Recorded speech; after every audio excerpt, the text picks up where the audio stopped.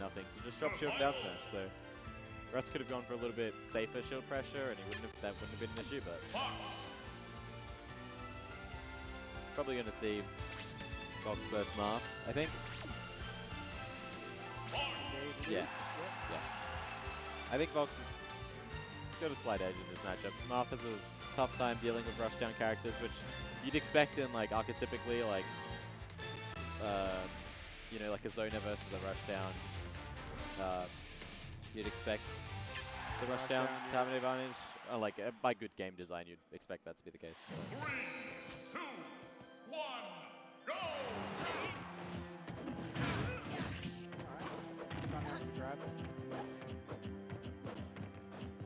Just putting up shield, putting down shield. You know, he doesn't Yeah. want to waste his shield. Like let he wants to. Just, Platform, it's super low. yeah. There it is. What? So how's it punish? Dead. Okay. Oh, he I respect that. Um, interesting start to the game. All right, but we're still going. You know, if you're gonna let your break, you might as well make it a two. Yeah.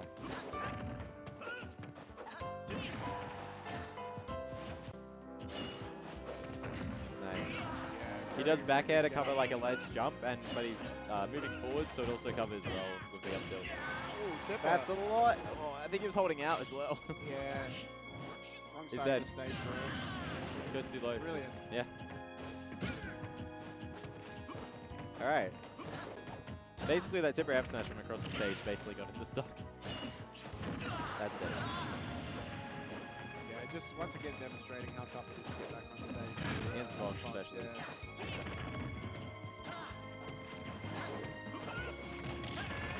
Uh, nice. He's doing a really good job of getting him off zone, which is obviously what you want to do. And Fox is a really is really good at it, but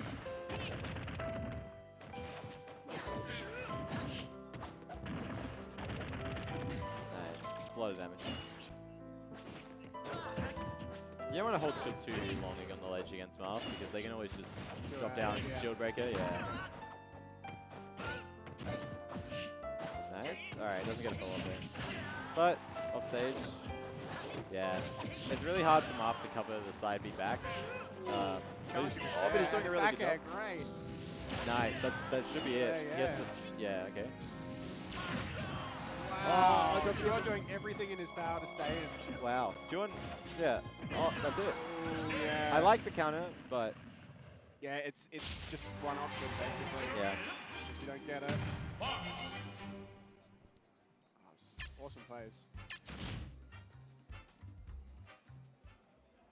Yeah, I, I expected Sadhour to be able to recover, like to cover all of Jordan's recovery options, but Jordan managed to like thread the needle and get through, Yep. and then uh, seal the stock from it. So uh, very well played. Three, two, one, go! Back to the stage. I like it.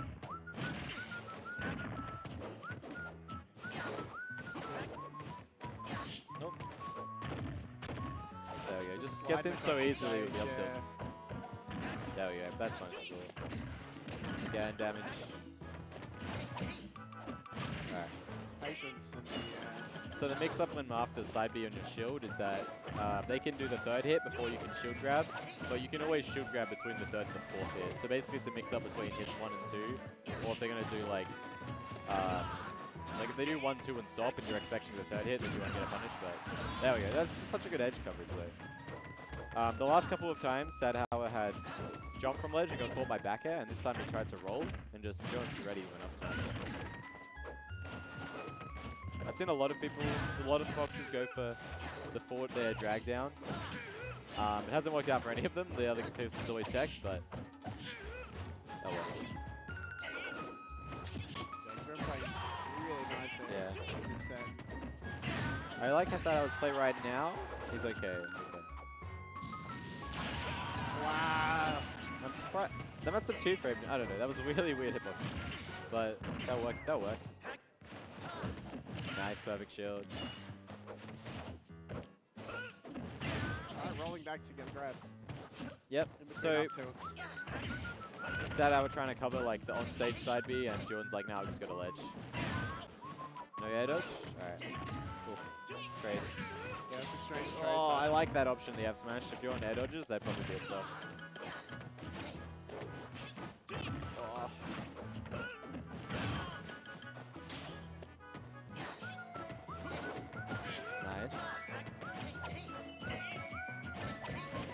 Yeah, there we go. Yeah, as soon as the third hit comes out, that's a punish.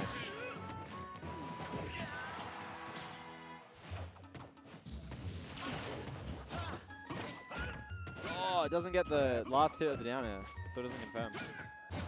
No roll, only just spot dodge. On platform though, it's kind of rough, especially on the ledge. There we go.